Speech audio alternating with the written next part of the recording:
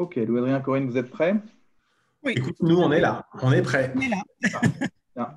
on va commencer, euh, on va commencer du coup. Bonsoir, euh, bonsoir à tous, bienvenue sur ce nouveau webinaire de la PPEA, webinaire qui sera consacré ce soir aux actualités des troubles d'apprentissage pour de la clinique et l'évaluation.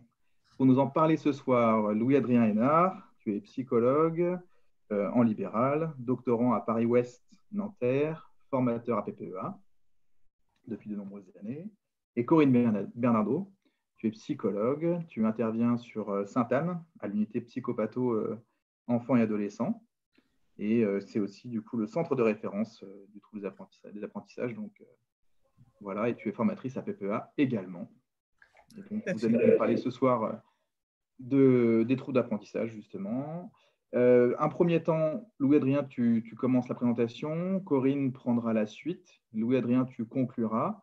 Et ensuite, on aura un temps d'échange avec les questions que vous poserez, euh, les participants. Vous pouvez les, ceux qui assistent au webinaire, vous pouvez poser vos conversations. Sur Zoom, c'est dans l'onglet Converser. On vous invite plutôt à utiliser l'onglet Converser que l'onglet euh, Questions-réponses, qui a peut-être été enlevé d'ailleurs, euh, pour poser vos questions. On les, on les lit, on les, on les compile et on les pose aux intervenants à la fin. Donc, n'hésitez pas à poser vos questions là-dessus. Le, le live il est aussi disponible, pour ceux qui n'arrivent pas à se connecter sur Zoom, il est aussi disponible sur Facebook Live. Vous avez le lien normalement sur, euh, sur la page de la PPEA. Et il y aura un, le replay sera disponible sur notre chaîne YouTube dès, demain ou après-demain. pour ceux qui n'ont pas l'occasion d'aller jusqu'au bout euh, du webinaire, ils peuvent retrouver l'intégralité de notre, de intervention demain euh, sur, notre, sur notre page YouTube de la PPEA. Voilà.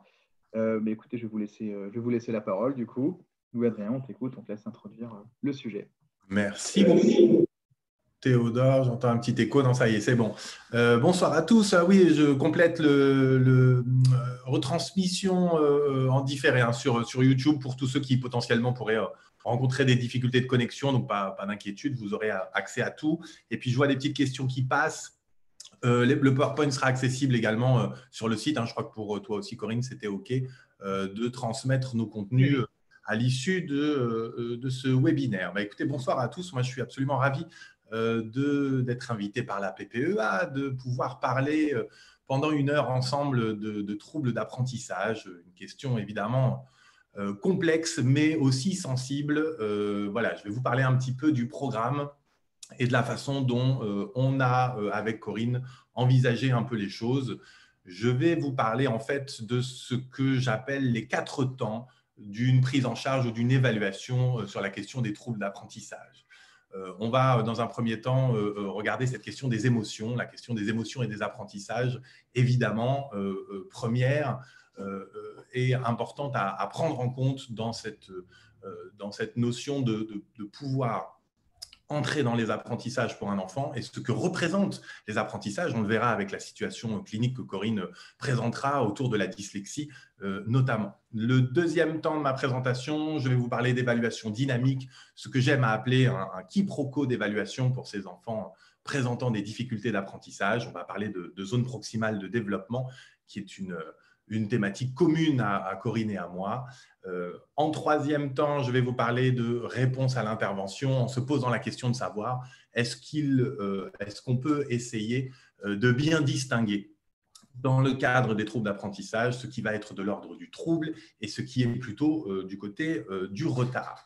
Et puis évidemment, en dernier point, on pourra parler et discuter de la question des troubles d'apprentissage plus directement euh, en regardant bah, quels sont les critères, euh, quelle est la dynamique autour de euh, ces troubles si spécifiques. Je t'interromps deux secondes. Juste une point du technique, j'ai dit l'onglet converser pour les questions, c'est l'onglet chat en fait. Hein. moi, ça affiche converser sur mon, sur mon écran. Donc pour tous ceux qui suivent, onglet chat de Zoom, vous pouvez poser vos questions là-dessus. Je, te laisse la parole.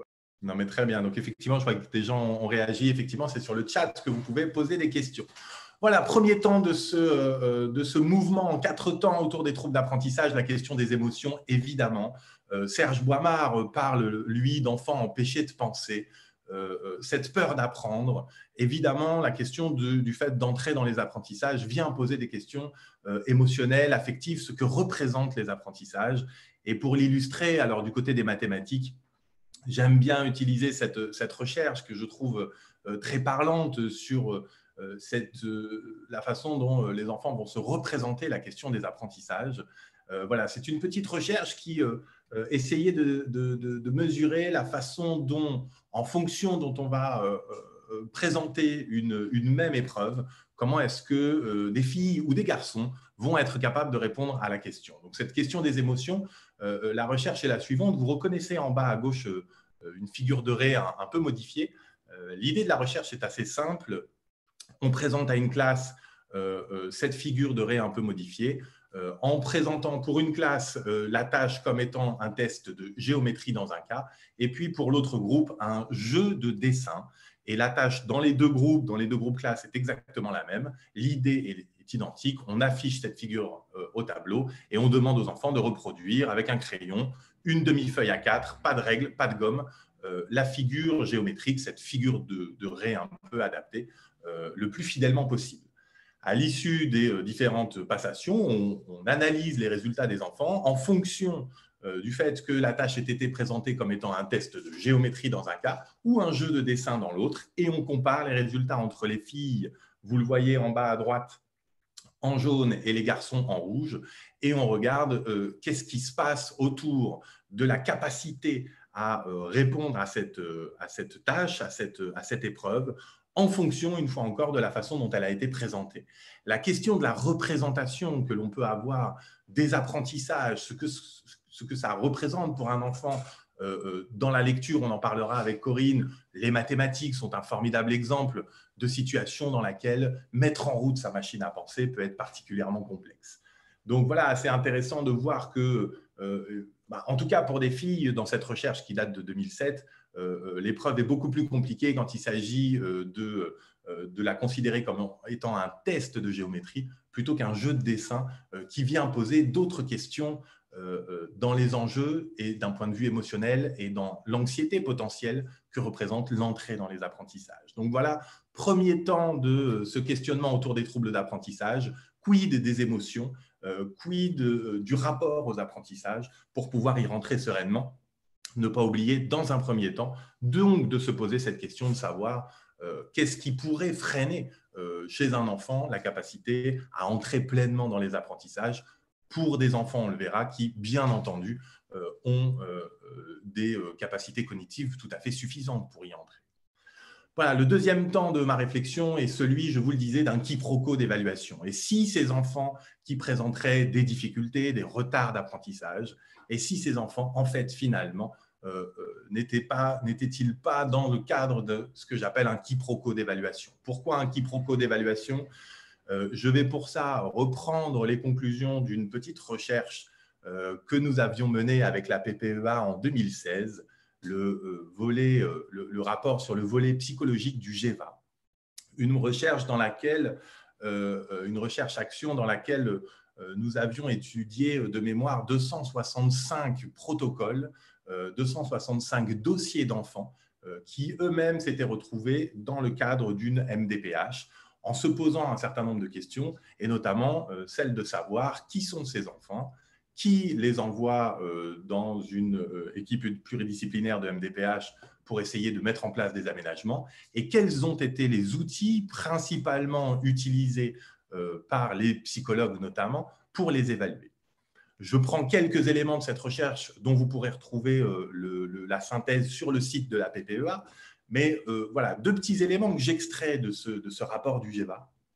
Le premier étant que dans deux cas sur trois sur les 265 dossiers qu'on avait euh, étudiés, dans deux cas sur trois, c'est l'école est à l'origine de la demande. Donc, dans deux cas sur trois, un enfant dont le dossier va se retrouver au sein d'une équipe pluridisciplinaire de MDPH l'est parce que l'école ou des difficultés scolaires euh, ont été euh, signalées en amont. Ce n'est pas particulièrement surprenant, mais c'est intéressant de voir que euh, eh bien, ça n'est pas forcément l'orthophoniste ou le pédiatre ou, un médecin, mais, bien l'école.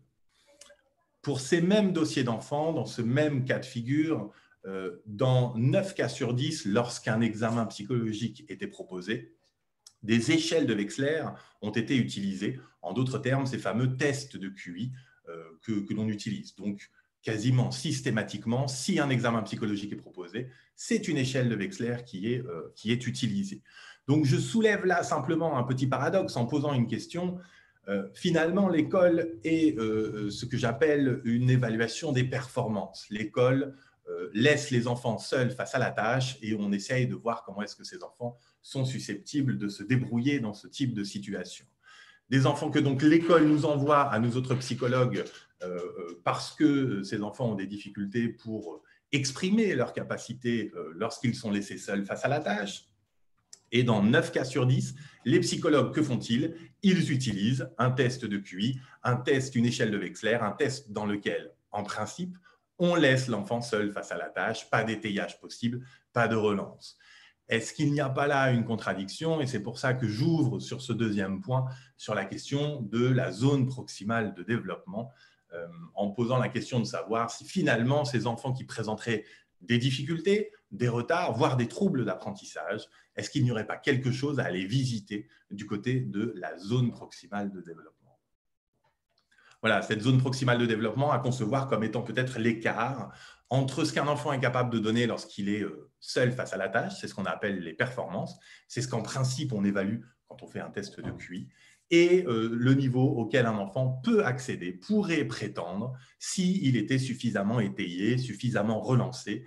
Euh, c'est ce qu'on va appeler les compétences. La zone proximale de développement serait l'écart entre ces deux zones.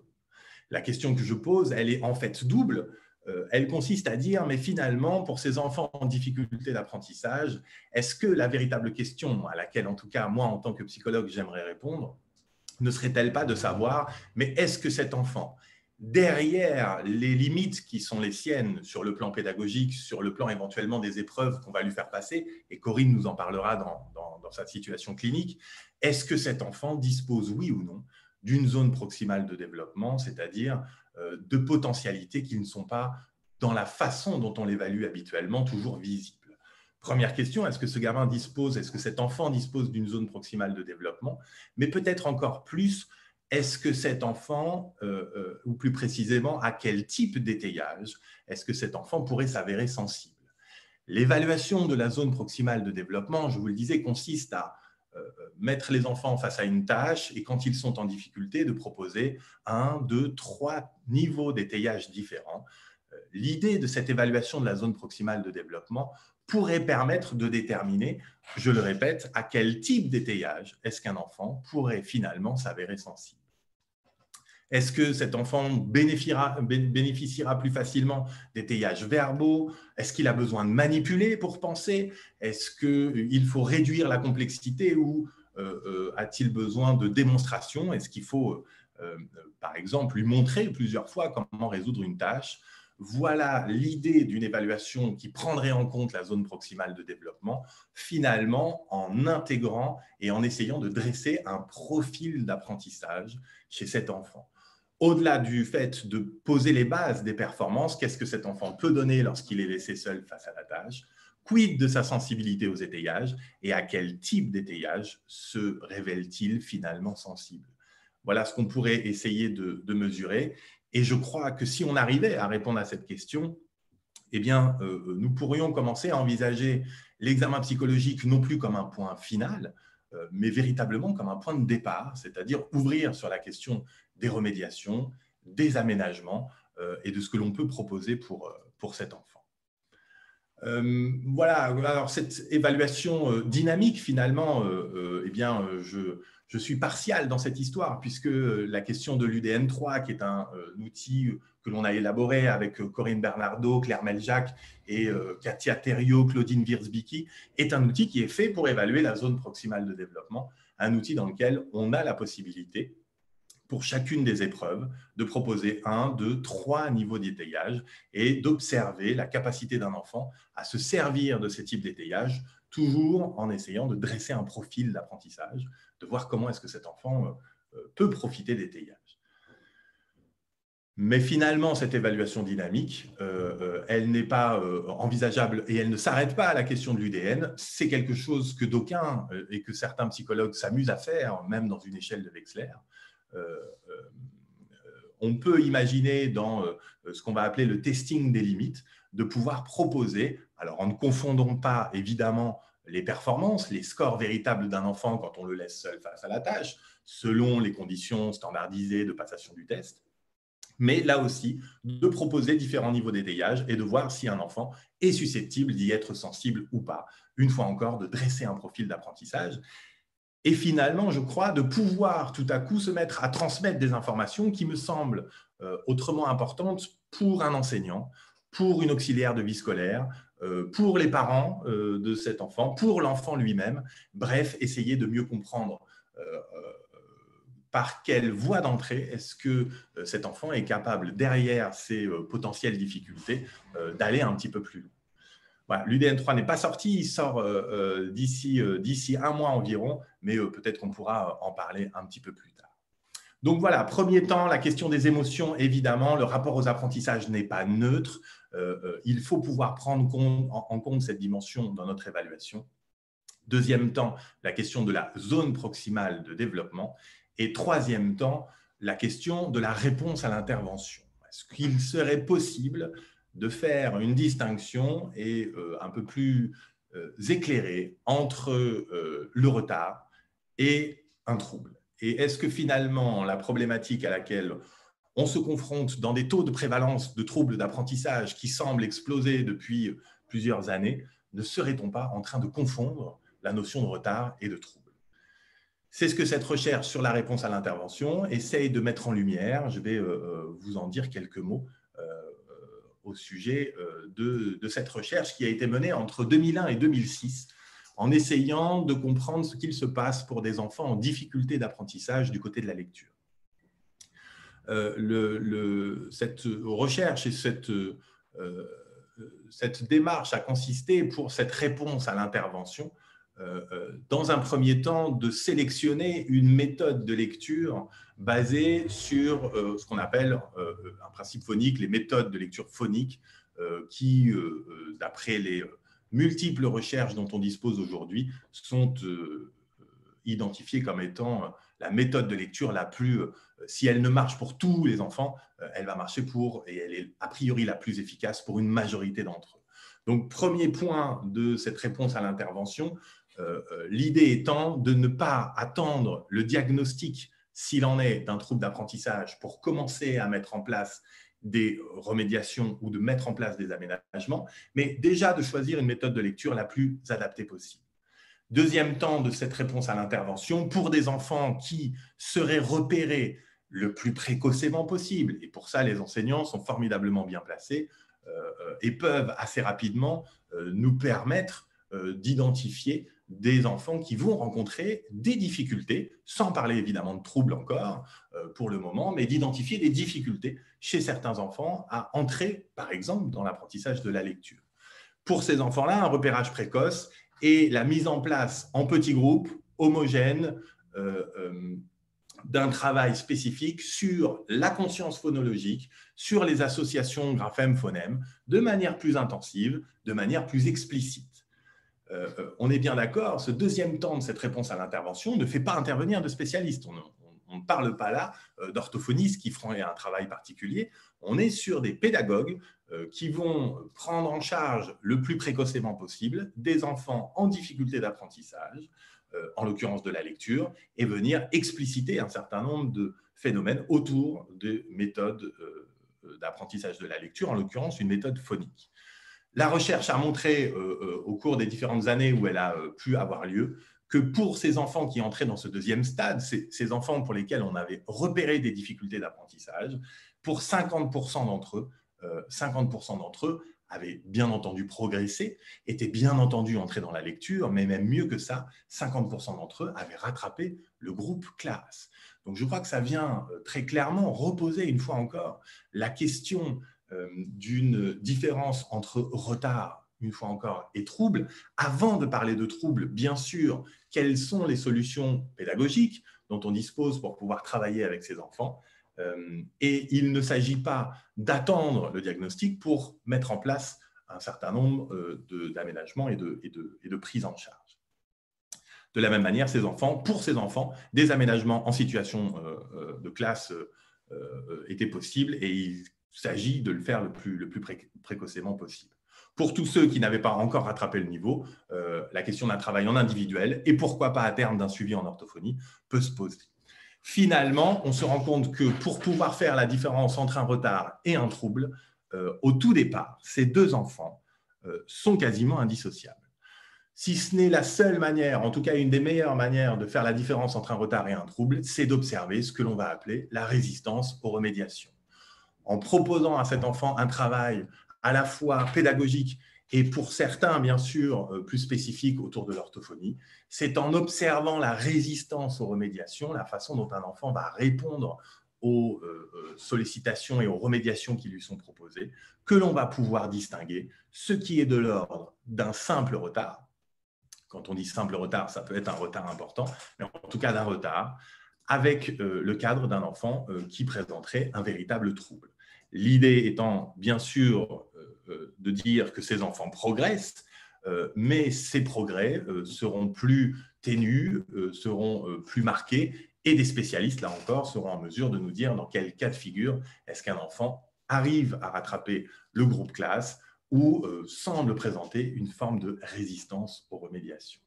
Ça veut dire que ces prises en charge, elles doivent, et ces interventions et ces remédiations, elles peuvent et elles doivent évidemment avoir lieu avant le diagnostic. L'idée étant ici de ne pas, euh, de bien considérer l'idée selon laquelle, euh, dans le cadre des troubles d'apprentissage, il faut pouvoir imaginer des prises en charge précoces, mais à mettre en parallèle avec la notion de diagnostic tardif. Est-ce qu'on peut imaginer des prises en charge qui arriveraient dès les, premiers, euh, les, premières difficultés, dès les, premières, dès les premiers retards dans les apprentissages, et de différer la question du diagnostic en fonction de la réponse à l'intervention. C'est euh, cette notion-là et c'est cette idée-là qui est proposée. Voilà, le quatrième temps, évidemment. Alors, premier temps, est-ce qu'il, euh, euh, cet enfant rencontre des difficultés émotionnelles, affectives, ce que représentent les apprentissages? Deuxième temps, celui de la zone proximale de développement. Est-ce qu'il n'y aurait pas un quiproquo d'évaluation chez cet enfant quand on le met seul face à la tâche? Il est en difficulté. Quid des étayages Quid de la sensibilité à la zone proximale de développement?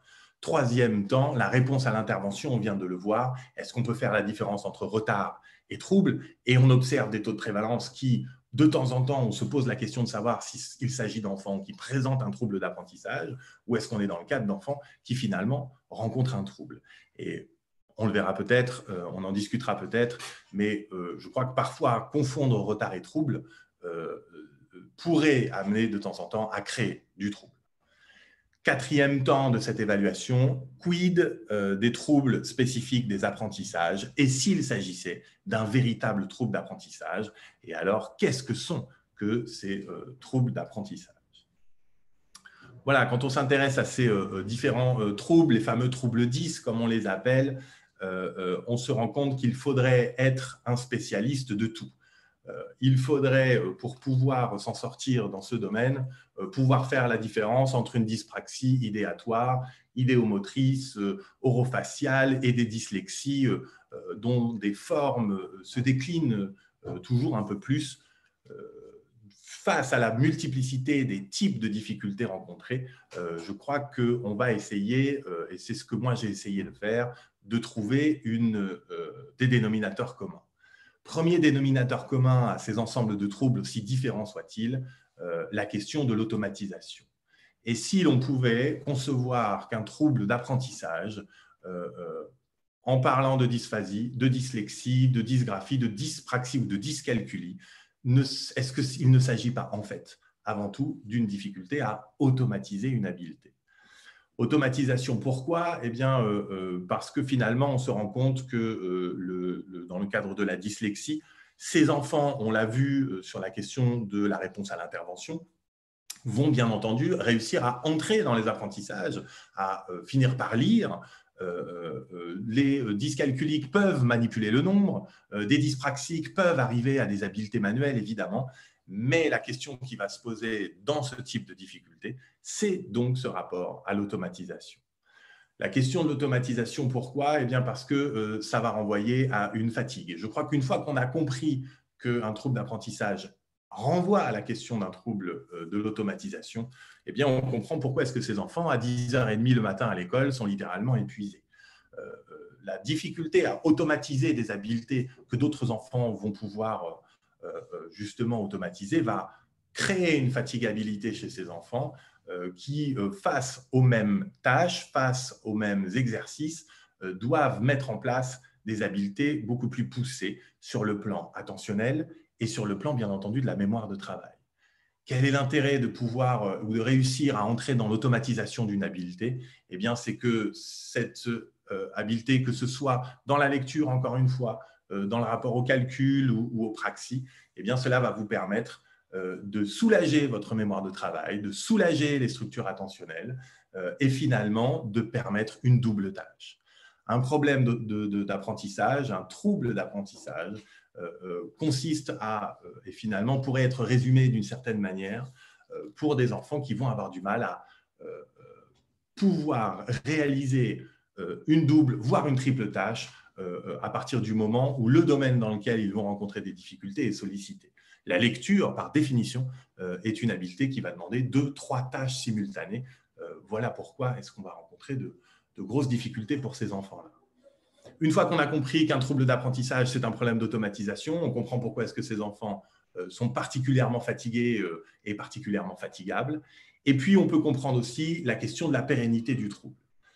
On peut lire dans, dans pas mal de revues de littérature autour de la question des troubles 10 que finalement, on, 10 un jour, 10 toujours, lit-on de temps en temps. Alors moi, je me demandais, mais qu'est-ce que ça signifie finalement? C'est-à-dire que ce trouble est pérenne, on ne, guérit pas, entre guillemets, d'un trouble d'apprentissage, euh, et pourtant, euh, on connaît des dyslexiques qui ont été diagnostiqués comme tels enfants et qui, à l'âge adulte, euh, sont, sans être d'excellents lecteurs, mais peuvent parfaitement réussir à lire. Comment se fait-il qu'un dyspraxique arrivé à l'âge adulte peut la cesser euh, chaussures, peut boutonner sa chemise ou apprendre à conduire? Ce qui est pérenne dans le trouble d'apprentissage, ce ne sont pas les habiletés qui, elles, progressent, euh, peut-être moins vite que chez les enfants en retard, on l'a vu, mais progressent malgré tout. Ce qui va être pérenne, c'est le rapport à l'automatisation. C'est-à-dire qu'à partir du moment où euh, on va confronter un dyspraxique à une nouvelle praxie, une praxie complexe, quand un dyslexique se confronte à un nouveau mot, la capacité à automatiser cette habileté à euh, la rendre automatique, à utiliser moins d'attention, à moins saturer sa mémoire de travail, eh bien, cette automatisation, ce n'est pas qu'elle ne se fait pas dans le cadre d'un trouble d'apprentissage, c'est qu'elle est plus lente, plus longue et plus coûteuse. Donc finalement, 10 un jour, 10 toujours, ce que ça signifie, c'est que finalement, ce qui est pérenne, c'est euh, le rapport à l'automatisation. Voilà, la question de l'automatisation, mais bien entendu les critères pour identifier ces troubles d'apprentissage. Euh, il existe euh, un certain nombre de critères, des critères d'exclusion et des critères d'inclusion dans ce rapport aux, troubles. Ce qui est particulier, je crois, dans le cadre des troubles d'apprentissage, quand on dit troubles spécifiques des apprentissages, eh bien cela signifie que rien n'explique mieux les difficultés de cet enfant. En d'autres termes, euh, la démarche de l'identification d'un trouble d'apprentissage consiste dans un premier temps et en premier lieu à aller chercher si rien n'expliquerait mieux les difficultés de cet enfant. Un exemple très clair, la question de la déficience intellectuelle, euh, c'est un critère d'exclusion dans le champ des troubles d'apprentissage, évidemment, puisque un enfant qui présenterait une déficience intellectuelle, évaluée avec des outils standardisés, et là les échelles de Wechsler ont évidemment toute leur place, eh bien, on ne parlera pas de troubles d'apprentissage pour un enfant déficient. Pour une raison très simple, c'est qu'on aurait là un élément d'explication qui permettrait de comprendre pourquoi cet enfant a du mal à apprendre à lire, par exemple, ou apprendre à compter. C'est la déficience intellectuelle euh, qui pose problème. Donc, on a des critères d'exclusion du côté des troubles sensoriels, des troubles de la personnalité ou de la question des carences éducatives. Ce qui ne veut évidemment pas dire qu'un enfant déficient ne va pas rencontrer, par exemple, hein, des difficultés à apprendre à lire, mais simplement, on n'est plus dans le champ des troubles des apprentissages. Je crois que c'est autre chose à partir de ce moment-là. Donc, beaucoup de critères d'exclusion à respecter pour pouvoir poser autant que possible un diagnostic. L'idée, donc, est de dire qu'un enfant qui aurait des difficultés d'apprentissage un trouble d'apprentissage, si euh, euh, on peut dire, eh bien, il s'agit d'enfants qui disposent de tous les outils cognitifs, sensoriels, pédagogiques, émotionnels et psychiques pour entrer dans la lecture, dans le calcul ou pour se concentrer et qui, malgré tous ces éléments-là, ne parvient pas à y rentrer. Et puis, bien sûr, beaucoup de critères d'exclusion, mais un critère d'inclusion, la question d'une, on parle d'une différence de deux écarts types, c'est-à-dire que dans le domaine qui pose problème à cet enfant, il faut qu'avec des épreuves étalonnées, on arrive à euh, objectiver le fait que cet enfant est, en d'autres termes, dans les 2% des enfants les plus faibles. Donc, il ne s'agit pas du premier retard euh, d'apprentissage euh, venu, il s'agit bien d'enfants qui vont rencontrer de véritables difficultés qui sont potentiellement, encore une fois, évalués et objectivés avec des épreuves qui permettront de le faire. Une fois encore, on peut évidemment rencontrer des enfants avec des troubles sensoriels, avec des problèmes euh, de personnalité qui vont eux-mêmes rencontrer des difficultés d'apprentissage, mais nous ne sommes pas dans le champ des troubles spécifiques des apprentissages, c'est autre chose. Les remédiations ne seront pas les mêmes, les aménagements ne seront pas imaginés de la même manière, on n'est pas dans le même champ. Voilà, je conclus euh, euh, très rapidement.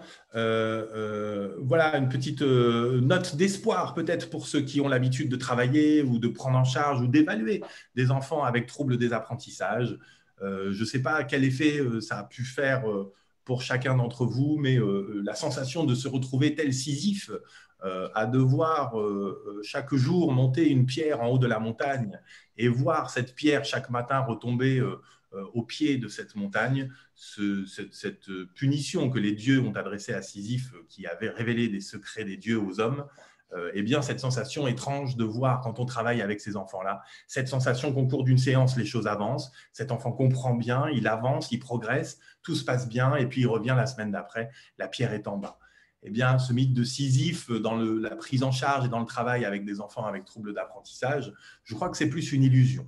Quand on arrive à se poser la question, une fois encore, du rapport émotionnel que cet enfant entretient avec les apprentissages, de, euh, euh, cette zone proximale de développement et de ce qu'on peut lui proposer en termes de, d'aménagement et puis euh, euh, de la façon de concevoir cette notion dynamique d'automatisation, eh bien, on se rend compte que la pierre ne retombe pas en bas de la montagne. On a parfois cette impression, mais les choses restent, les choses avancent et évidemment, comme on le montrait, ces, ces enfants, comme tant d'autres, évidemment, progressent dans leur rapport aux apprentissages. Voilà pour ma partie. J'espère que je n'ai pas trop pris de temps et pas trop dépassé. Du coup, je passe la main à Corinne pour qu'elle nous parle d'une situation clinique. C'est un temps un peu court là. Très bien. Merci beaucoup. Vas-y Corinne, à toi. Merci à toi Léa. Alors, je vais pousser ça. Alors, bonjour. Euh, ah, je vais remettre au départ. Merci. Alors, bonjour à tous. Donc, merci Louis-Adrien. Alors, euh, donc moi, je vais vous parler d'une jeune fille que nous avons reçue là au Centre de référence des apprentissages. Donc, je vais essayer d'illustrer le propos de, Louis Adrien. Et euh, ce qui m'intéressait, c'était de travailler sur euh, subjectivité et apprentissage. Ah, j'ai un souci Alors, donc c'est une fillette qui avait presque 8 ans quand je l'ai rencontrée euh, la première fois. Elle a été adressée par son orthophoniste qui la suit euh, depuis un an et demi, voire presque deux ans, pour des troubles importants des apprentissages et en particulier de la lecture. Elle a aussi une prise en charge en orthophonie et un soutien à l'école deux fois par semaine. Donc, c'est déjà euh, assez intensif. Donc, les inquiétudes sont multiples des différents côtés. Euh, avait été proposé, euh, tellement elle était en difficulté, euh, un redoublement du CP que ses parents ont refusé. Alors c'est vrai que quand on la reçoit, elle est décrite comme une enfant ayant un niveau de lecture de premier trimestre de CP.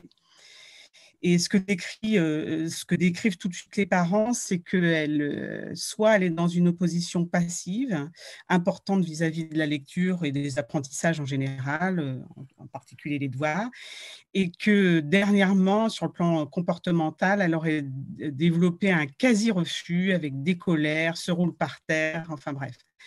ce qui est je ne sais pas ce qui se passe. je crois, Corinne, en fait, que tu, as fait le partage de ton PowerPoint? Oui. Ok, parce que je crois que ça ne marche pas. Donc, si ça te va, euh, soit tu réessayes. Tu veux réessayer? Ouais. Moi, ça, je ne sais pas. Alors, le mieux, c'est que je, le, je, vais, je vais le faire défiler. Ok, fais défiler. tu, tu, en étais à, à laquelle, là, dis-moi? Euh, bah, ici, justement. Donc, euh, au cours de, l'entretien, euh, les parents évoquent plusieurs hypothèses, à savoir est-ce que c'est une dyslexie ils, évoquent aussi une crainte d'une pathologie neurologique, parce que pendant la grossesse, euh, bon, euh, sans souci particulier pour autant. Enfin, il y avait eu des inquiétudes, des inquiétudes euh, cardiaques. elle est née par forceps, etc. Donc, du coup, ils étaient un petit, enfin, ça, leur revient en tête et, ils pensent à tout ça. ensuite, donc, bon, ce qu'ils décrivent, c'est que c'est une petite fille qui a beaucoup d'angoisses de mort, des angoisses de séparation. Euh, elle a eu des problèmes d'endormissement pendant la, jeune enfance. Hein. Elle dormait dans leur lit euh, jusqu'à l'âge au moins de 3 ans. Et, euh, mais bon, qu'il n'y a rien à, à souligner pour autant sur le plan de son développement et elle n'a pas de problème de santé. Euh, qu'est-ce que je peux dire d'autre ensuite? Euh, Vas-y, Louis-Adrien. Ouais. Alors, donc, euh, quand on l'a rencontré, bien évidemment, on a commencé par une observation de la langue écrite. Alors, ce que notre, notre collègue dit, c'est que la lecture est extrêmement difficile et qu'il y a des erreurs de toute nature, que ce soit des glissements phonétiques, des devinements, des productions de non-mots. Et dans le texte qu'elle a lu, à sa façon, on va dire, eh bien évidemment, vous pensez bien que la restitution, du texte, elle est impossible, mais elle invente des choses. Alors bon, là, c'était le texte de notre lapin, enfin bref. Et, là, il y a un loup qui apparaît, donc une fantaisie personnelle dans, son, dans, dans, dans sa restitution. La transcription écrite est impossible. Hein, euh, donc, euh, elle est en grande difficulté en lecture.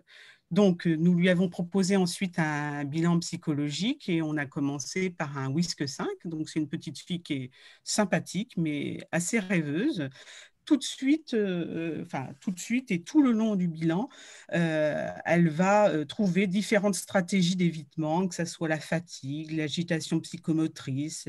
Elle se presse pour se débarrasser, elle donne des réponses au hasard ou erronées. Bon, donc elle, lutte beaucoup quand même cette petite fille et même à travers le whisk, elle, elle, se laisse envahir par son imaginaire et donc ça, met en avant une certaine immaturité chez elle. Alors, qu'est-ce qu'on peut voir au whisk euh, dans, euh, un peu plus euh, finement? Donc, son indice de compréhension verbale, c'est assez, assez faible hein, quand même. Hein. On voit que son stock lexical et, sa, et ses, capacités à, construire des concepts verbaux sont assez faibles. sur le plan du raisonnement fluide, bon, bon ça, ça, ça, tient à peu près. On voit qu'Amatrice est un peu plus faible, mais on voit qu'elle a un raisonnement mathématique à balance. Ensuite, en mémoire de travail, euh, eh bien, euh, elle, euh, elle est elle est, c'est hétérogène, c'est-à-dire que tout ce qui est mémoire auditivo-verbale est plutôt, elle est plutôt embarrassée dans ce, dans ce champ-là, alors que en mémoire, en mémoire visuelle, c'est meilleur. Bon, en mémoire des chiffres, hein, c'est surtout la mémoire de travail qui est atteinte. L'indice de vitesse de traitement, ben, elle s'en débrouille, euh, voire euh, très bien. Hein, euh, donc, ça, montre bien aussi que le, par cœur, la mémoire à, court terme est préservée. Alors, j'avais oublié l'indice visio-spatial. Bon, Cube, c'est un petit, un petit peu faible. Bon, on voit que quand, elle est, elle, sans la manipulation, pour ce subtest-là, elle est, elle est un peu plus à l'aise. Donc, euh, finalement, tu peux passer, Louis-Adrien. Euh, voilà, l'autre aussi, parce que ça, c'est ce qu'on vient de dire. Donc, c'est une, petite fille. Non, la, dernière, celle d'avant. Euh, c'est une petite fille qui donc a un profil hétérogène, qui est bon, un peu plus touchée sur le plan verbal et mnésique, mais qui on, note tout de suite qu'elle a de meilleures capacités quand il y a un support, un matériel visuel. Bon, et je reviens sur la question de ces stratégies d'évitement qui sont quand même très nombreux Et on a l'impression clinique quand même que cette, cette fillette, elle fonctionne beaucoup mieux que ce qu'elle veut bien nous montrer, en tous les cas, à l'épreuve du WISC. Et alors, bon, je me pose la question à ce moment-là, est-ce que ça ressemble peut-être trop à des activités scolaires avec un S Et bon, voilà, vu, je, repense à ce que les, parents m'ont dit aussi en, entretien, qu'elle se met dans tous ces états à, la maison pour, pour bah, faire ses devoirs en particulier.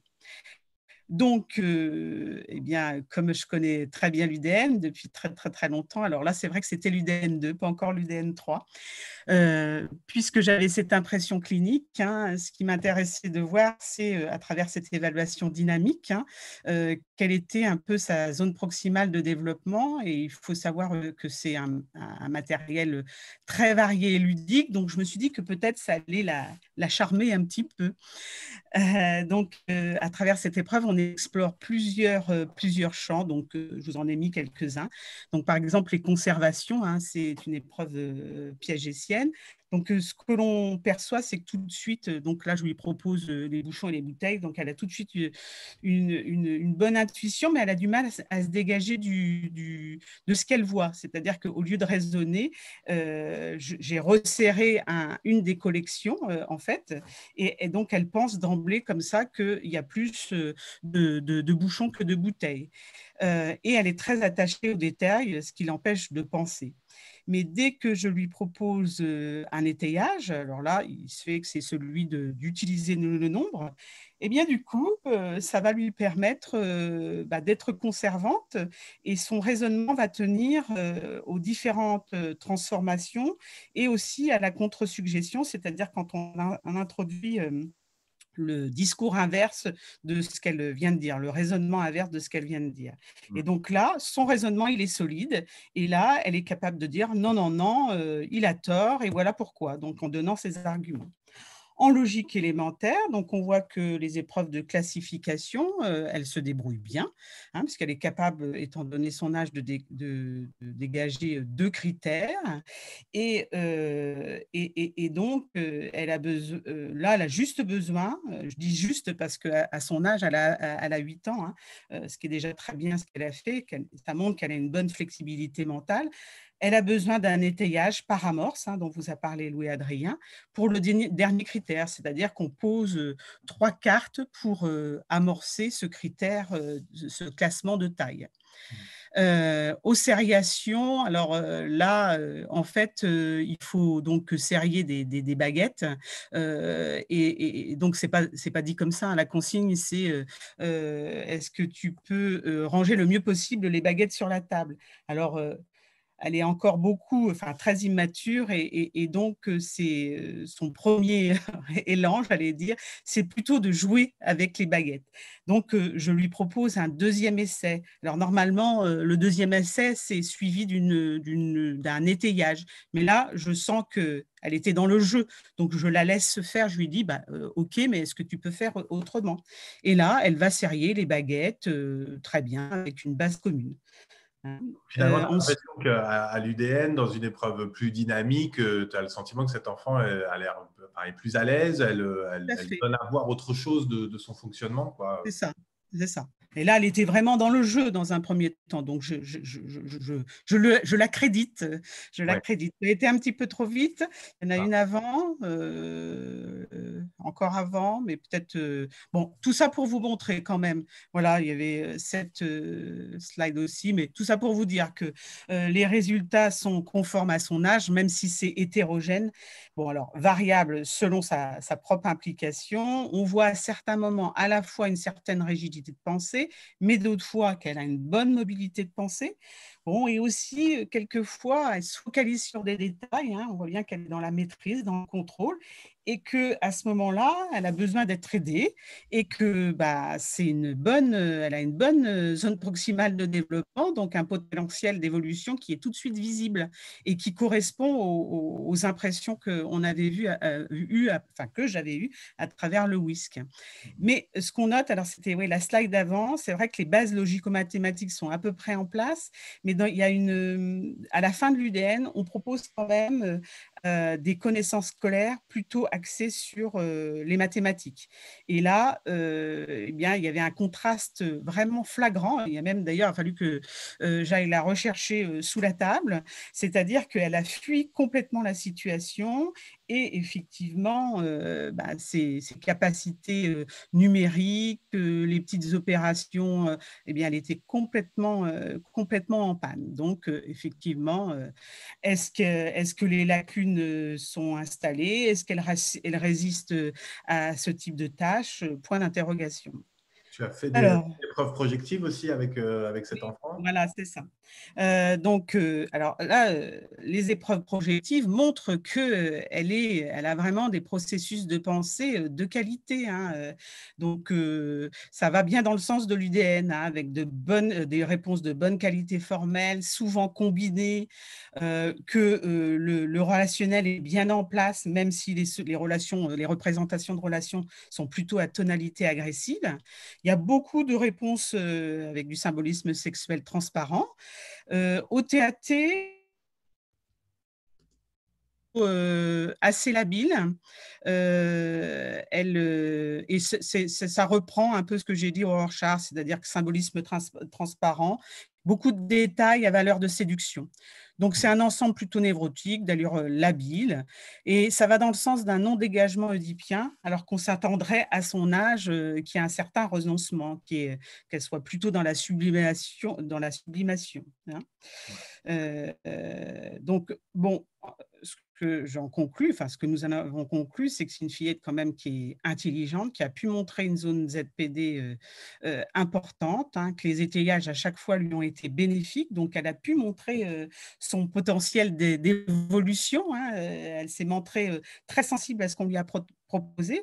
C'est une, une, jeune fille dyslexique, ça, aucun doute.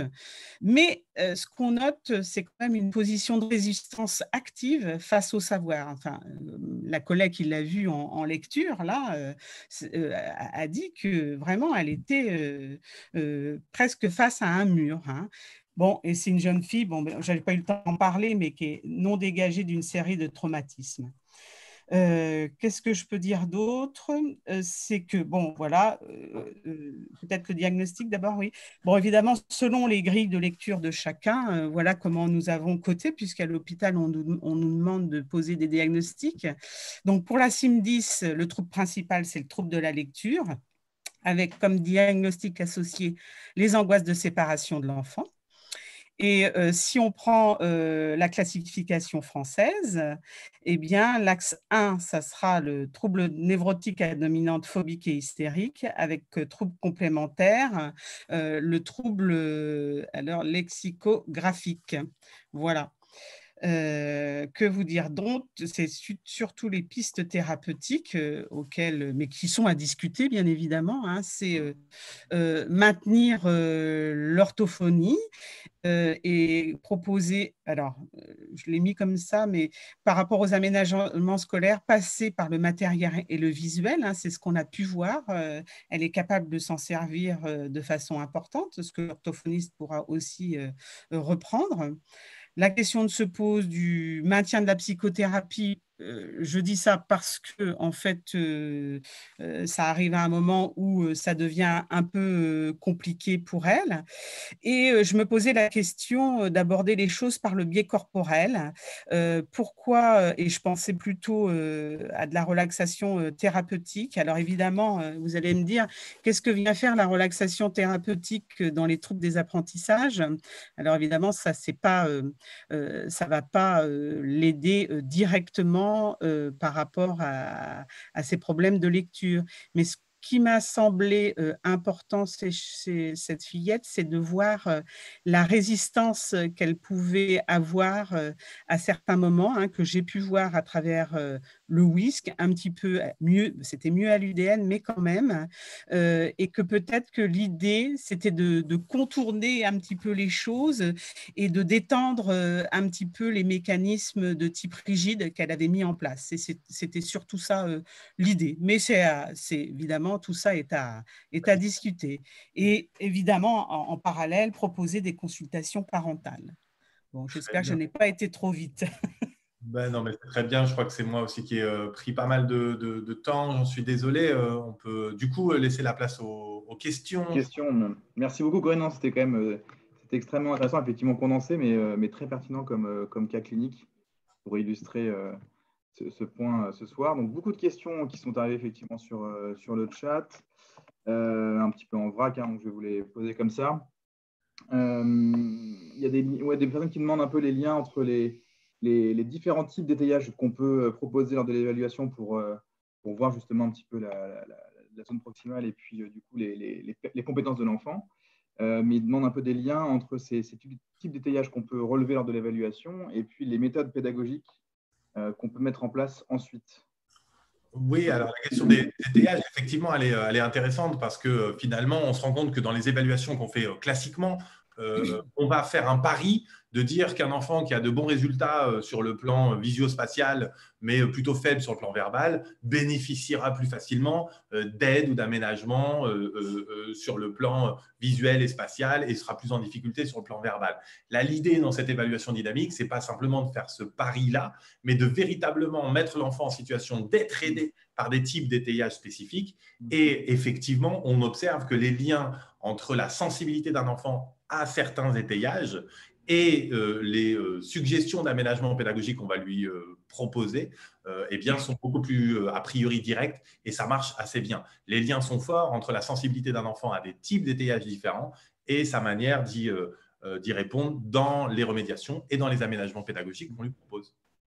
Et les, principaux, si tu à, gros traits, les, les types d'étayage que tu proposes et ceux qui vont bien avec des méthodes pédagogiques ensuite, des exemples? Bah ouais, c'est ce que j'affiche là. Hein. vous voyez mon, écran. on a, des étayages plutôt verbaux, euh, on a des étayages de manipulation. C'est évidemment très important. Bon, alors euh, on le sait. Est-ce que tu as des approches, des approches pédagogiques que tu connais qui, sont un peu en lien avec ces types euh, d'étayages? Mais clairement, j'allais en parler. La question de la manipulation, découvrir qu'un enfant, quand il peut passer par le corps, c'est un peu aussi ce que Corinne disait dans, dans la situation de, de la petite Aline, je crois. quand un enfant peut passer par le corps peut manipuler, eh bien, on se rend compte que la pensée peut se déployer. Il est tout un tas de situations pédagogiques dans lesquelles le, le, fait de repasser par de la manipulation, de proposer à un enfant de, euh, d'avoir des supports, euh, de, de, pouvoir euh, travailler avec du matériel, le passage à l'abstraction en maternelle moyenne section, c'est en tout cas à mon avis un peu une aberration sur le plan développemental.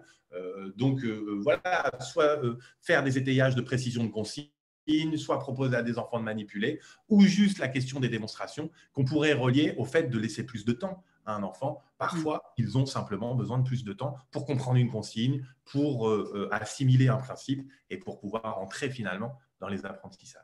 Ou bien au contraire, les, étayages verbaux, hein, certains enfants, effectivement, euh, euh, si euh, au contraire, si on les fait manipuler, ils sont complètement perdus, ils sont perdus dans l'espace, etc. Et, et, si on passe par la verbalisation, on se rend compte qu'ils sont capables de raisonner bien mieux. Hein. donc, mmh. c'est ça qu'il faut essayer de repérer, ces, ces, pistes, enfin, ces étayages-là qu'il faut essayer repérer tout le long du bilan, en fait, hein. quel que soit l'outil, hein, d'ailleurs, quel que soit l'outil. Mm. Ok. Corinne, euh, juste, euh, tu as laissé beaucoup de personnes sur leur faim par rapport aux difficultés psychotraumatiques que tu as évoquées et le lien avec euh, les troubles spécifiques des apprentissages euh, en, fait, euh, c'est une petite feuille. Donc, j'ai dit que, qui était, avait des angoisses de mort, des angoisses de séparation. ce que j'ai, la slide que j'avais enlevée, c'est effectivement que, en fait, tout ça, toutes ces difficultés sont apparues parce que ses parents, au moment de l'entrée en maternelle, se sont séparés et son papa a eu des, des soucis de santé. Et donc, ça c'est venu euh, se cristalliser là. Et euh, je me rappelle de la consultation de synthèse. Euh, la, fillette, donc, elle était très, elle avait des moments de retrait, de tristesse et des moments où elle était presque adhésive avec, avec nous. Et il y a eu un moment très, très authentique et, où elle a, parlé de, de, elle avait été sur la tombe de sa grand-mère, de sa grand-mère, et son désarroi parce qu'elle elle ne pouvait pas lire les inscriptions qu'il y avait sur la tombe de, sa grand-mère. Donc, c'est vrai que ça interroge sur bah, quid de son inscription quand même. et tout de suite après, elle, a, elle, a, elle, a, associé sur, sur les angoisses de mort vis-à-vis de son papa et puis d'autres personnes dans sa, dans sa famille. Donc, on voit que tout n'est pas réglé de ce côté-là et qu'elle a encore un, chemin à, à parcourir. Hein. Voilà. bien, merci. Une, un gros volet de questions, euh, je vais essayer de résumer sur euh, les problématiques autour des MDPH euh, qui peuvent refuser la, la, notification MDPH pour les troubles des apprentissages qui argumentent que ce n'est pas un handicap, donc du coup qui peuvent gêner la mise en place d'aide pour l'enfant. Le, fait qu'il y en a aussi qui demandent essentiellement le, un QI pour accepter une, demande qui ne laisse pas les psychologues libres de leurs outils. Bon, quel est votre euh, positionnement là-dessus sur les, la question de, le lien entre troubles des apprentissages et, handicap surtout Ouais. Bah, la question des outils, elle est, euh, elle est problématique, effectivement. Euh, je ne crois pas qu'on dise qu'il ne faut pas utiliser d'échelle de Wechsler dans les examens psychologiques. Au contraire, on a besoin de cette limite basse, on a besoin de ces outils. Ça, c'est plutôt plutôt une bonne chose. Simplement, je pense que ce qu'on essaie d'amener, c'est l'idée selon laquelle on, puisse ne pas s'y arrêter. Euh, on, peut essayer d'aller un peu plus loin. Euh, après, euh, des MDPH qui, qui remettent en question la, notion de handicap pour des enfants qui auraient des troubles 10, enfin, c'est quand même, a priori, depuis la loi de 2005, on a, on a avancé sur ces questions-là. la reconnaissance du handicap cognitif des troubles cognitifs dans le champ du handicap, je pense que c'est quand même euh, important. Aujourd'hui, un enfant pour lequel euh, un diagnostic ou une démarche diagnostique vers une identification d'un trouble d'apprentissage pourra bénéficier euh, des aides adaptées, des aménagements et des prises en charge auxquelles il a droit. Pour essayer de, de, de, comment dire, de se battre par rapport à nos outils, en tous les cas, on peut très bien faire, euh, par exemple, un WISC et un UDN pour montrer euh, un petit peu. Euh, c'est à nous aussi de défendre ce qui existe et, de ne pas faire simplement des WISC. Hein, est-ce qu'un UDN pourrait suffire pour évaluer des troubles des apprentissages Mais est-ce que dans ce cas-là, ce serait pas refusé par les MDPH dans les dossiers? Ça, peut-être que oui, mais euh, ce qui est, intéressant, en tous les cas, en se dégageant de, cette histoire de MDPH, c'est de, montrer euh, justement euh, ce que, que Louis-Adrien voulait montrer tout à l'heure, c'est l'évaluation des performances et les évaluations des compétences. Et, c'est intéressant de leur montrer ça aussi. Après, j'entends bien qu'il y a cette histoire de QI, hein, et on est tous un peu malmenés par rapport à ça. Et puis, il y a le dossier MDPH d'un côté, et puis il y a le travail du psychologue, ses investigations, ce qu'on va transmettre aux enseignants, ce qu'on va transmettre aux parents. Euh, euh, bien sûr que notre travail ne s'arrête pas non plus dans le fait de monter un dossier MDPH. Euh, on a d'autres investigations à faire, des choses qu'on va transmettre et d'autres un peu moins. Et puis, il ne faut pas oublier que quand même, quand il y a le dossier MDPH, il y a aussi tous les, les autres bilans, hein, les bilans orthophoniques, etc., qui viennent soutenir aussi le, trouble des apprentissages, hein, le diagnostic du trouble des apprentissages.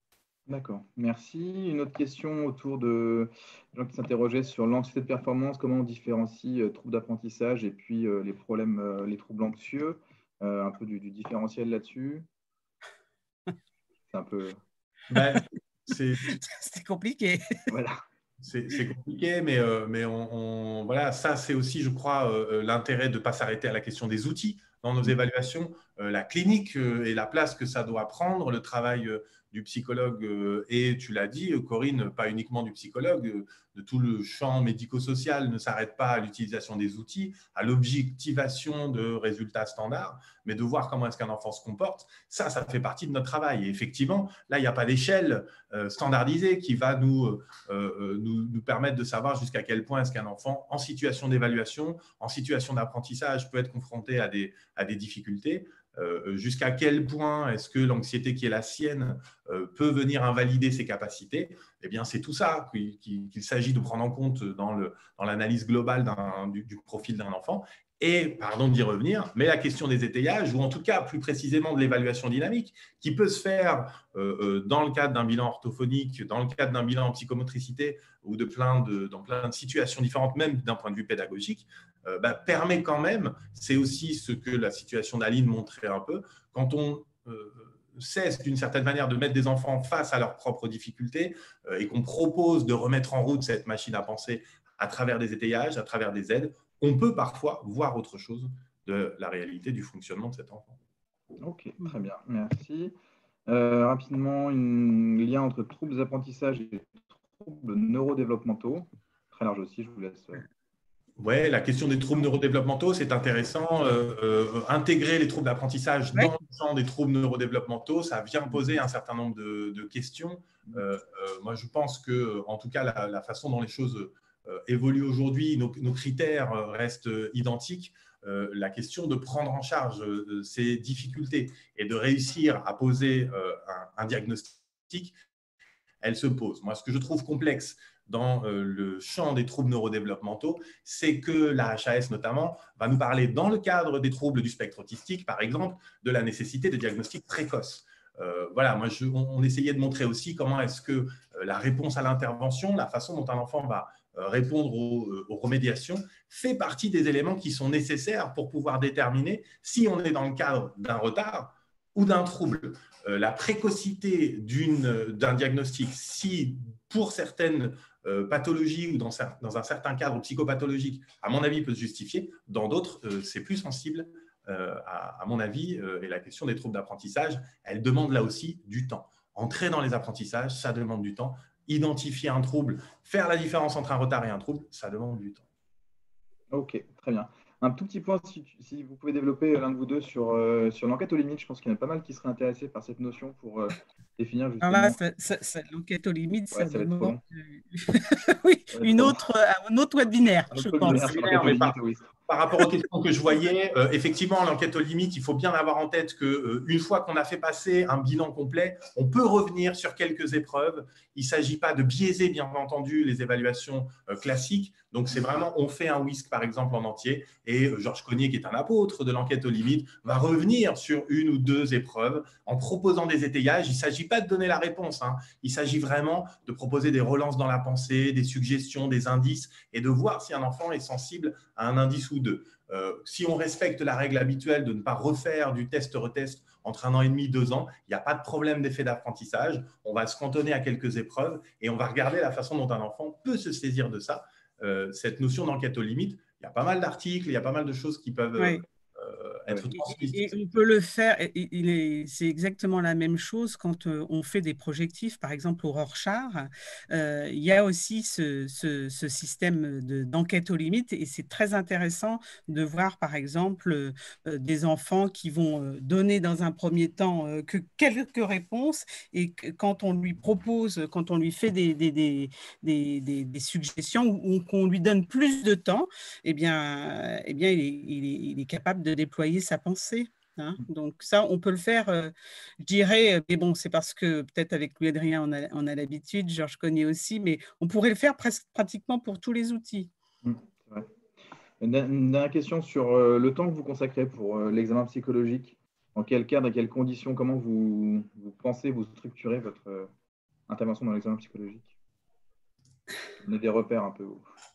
Ben justement, euh, c'est un bon moyen d'introduire hein, le fait que le 8 décembre, euh, prochain webinaire de la PPEA, euh, c'est Georges Cognier qui sera parmi les intervenants. Vous pourrez lui poser plein de questions sur la question de l'enquête aux limites et plus précisément sur les indices du WISC 5.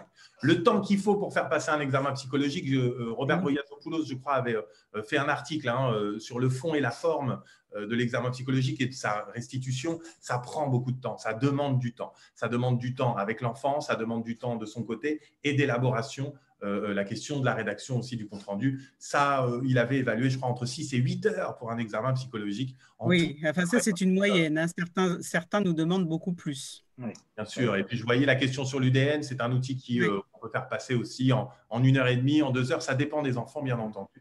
Alors, beaucoup de questions sur l'UDN, justement. je pense que c'est intéressant de, venir penser, penser un petit webinaire autour de l'UDN, comme ça, à tout, à tout hasard. Euh, dernière question, rapprochement avec la notion de potentiel d'apprentissage et son évaluation, par exemple au cube de COS.